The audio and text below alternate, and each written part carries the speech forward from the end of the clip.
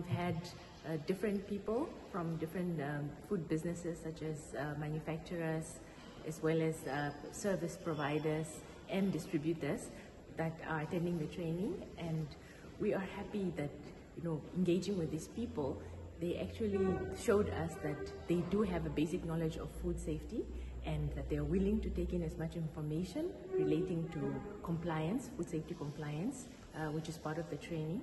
And for the other sessions that we're going to have in the future, which is for Windhoek on the 3rd and Ongwediva on the 10th, we're looking forward to meeting the people and meeting the, the, various women in the different businesses, including the agri-businesses, and we hope that we can impart our knowledge to them uh, in terms of food safety, and we hope that uh, with this knowledge they can use to elevate their businesses. Um, I was fortunate enough to see the bill from um, the municipality's environmental health department. They shared it with us when we invited them to be speakers at the Walvis Bay event. So I've uh, scrolled through the bill and it looks like it was something that was revised by the regulatory authorities. So it's something, uh, the Ministry of Health is the custodian of this bill.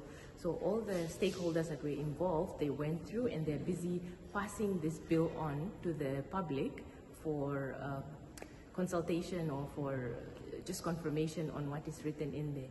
Uh, but so far, uh, we see the bill just covers mostly about who is responsible for regulating what, but it doesn't go into the specifics yet. So we're a bit behind still when it comes to that, and we're hoping that this bill will, out of this bill will come regulations as well as uh, directives on how to control certain foods, uh, how to control various establishments.